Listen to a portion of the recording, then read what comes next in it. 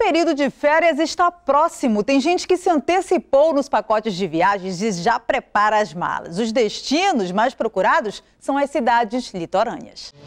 Viajar.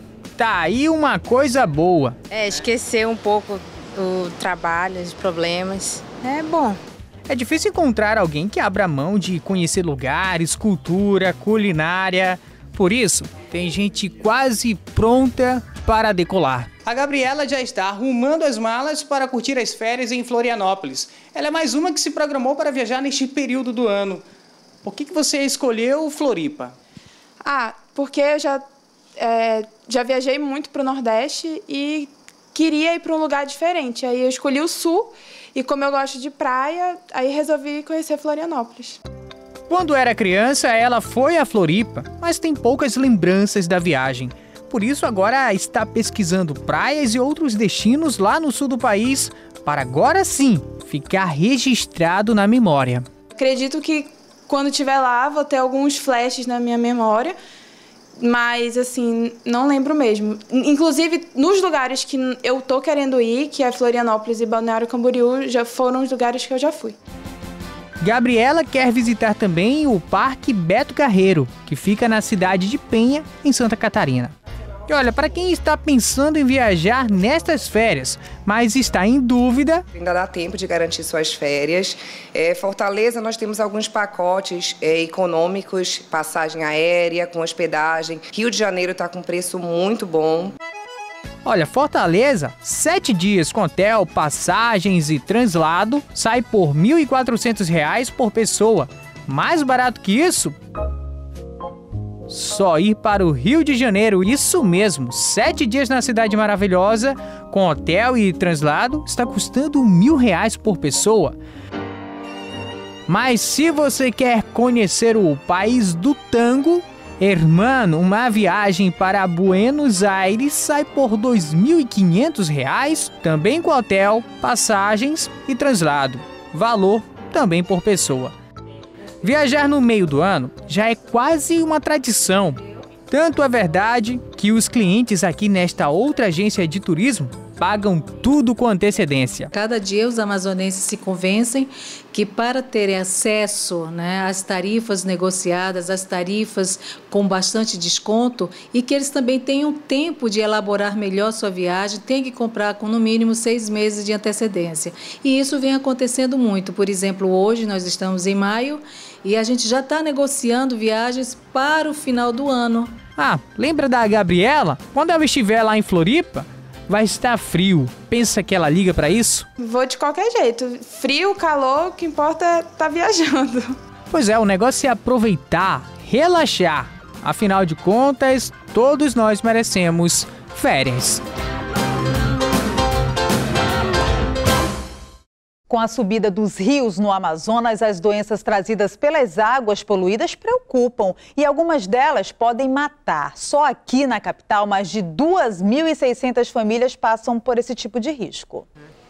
Com a enchente, o contato dos moradores com a água poluída aumenta. A neta de Geociclene, por exemplo, ficou doente depois de brincar por aqui. Ela estava brincando aí, rapidinho deu nela essa, essa essa doença. Aí ela começou a vomitar, começou a vomitar e começou a babar, veio aquela baba verde e, e começou a dar diarreia na menina, aí a menina ficou toda mole, entendeu? Ficou mole, foi, de, foi desmaiado para o pronto-socorro lá. Isso porque o rio que está bem perto da casa dessas pessoas está tomado pelo lixo. E os moradores do Presidente Vargas, zona sul de Manaus, precisam ficar atentos, principalmente com as crianças. É, semana passada caiu duas crianças que foram para a escola, aí caiu dentro d'água. O Rio Negro já passou de 28 centímetros e, segundo a Secretaria de Assistência Social e Direitos Humanos, 2.610 famílias de 15 bairros de Manaus vivem nessas condições. Segundo a Fundação de Vigilância em Saúde, só este ano já foram registrados mais de 66 mil casos de diarreia no Amazonas.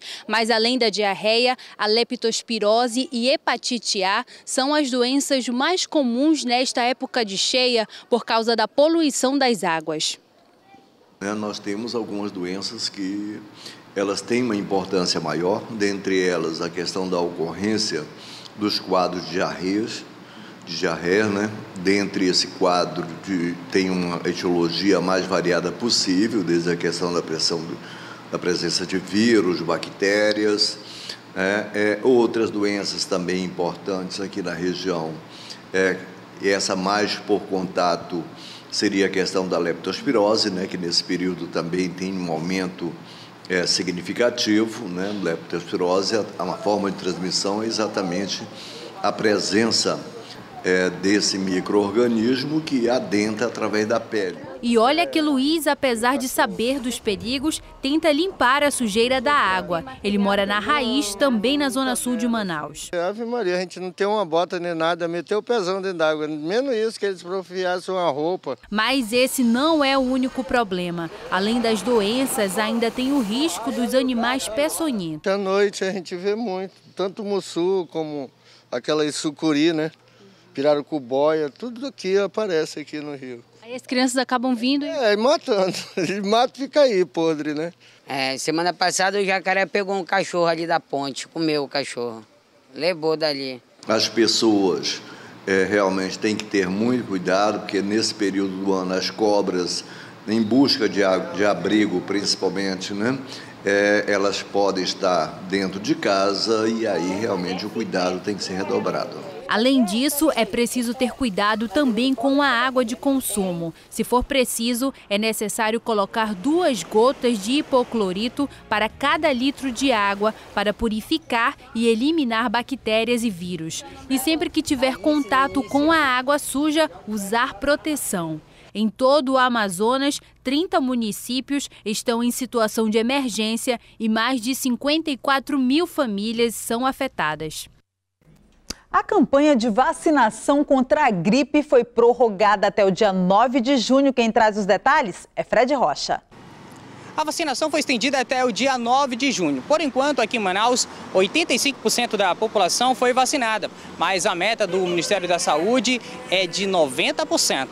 Prazo era até hoje, mas é, a gente está estendendo, mas nós estamos com 85% já do nosso público-alvo é, devidamente imunizado, vacinado, e, portanto, a gente pediu autorização do Ministério da Saúde, já, nós já estamos autorizados para prorrogar mais esse período, mas, de todo modo, nós somos hoje a segunda capital com maior índice, né, já reconhecido pelo Ministério, inclusive, é, Manaus está em segundo lugar entre as capitais, com esse número significativo de 85% já do público-alvo vacinado. A Secretaria Municipal de Saúde disse que não atingiu a meta por enquanto porque o Ministério da Saúde demorou para enviar as doses aqui para Manaus.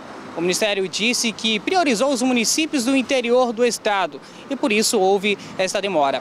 São públicos-alvo da campanha crianças com idade entre 6 meses e 5 anos de idade, gestantes, idosos, mulheres que tiveram filhos há pouco tempo, pessoas com doenças crônicas transmissíveis, professores das redes pública e privada e também os detentos. Vale ressaltar que para os presos as vacinas estão sendo levadas até aos presídios. As doses estão disponíveis nas UBSs aqui da capital. Inclusive 10 vão funcionar em horário diferenciado, das 7 horas da manhã até as 9 horas da noite. As crianças podem tomar as vacinas nos CAICs e os idosos nos CAIMs. A vacinação previne contra três tipos de gripes: H1N1, H3N2 e influenza B. Não pode tomar a vacina quem tem alergia ao ovo de galinha.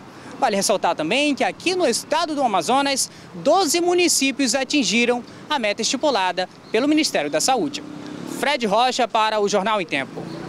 Obrigada, Fred. A seguir tem futebol. Princesa joga neste domingo no Acre em busca da liderança do grupo 1 da Série D. É depois do intervalo.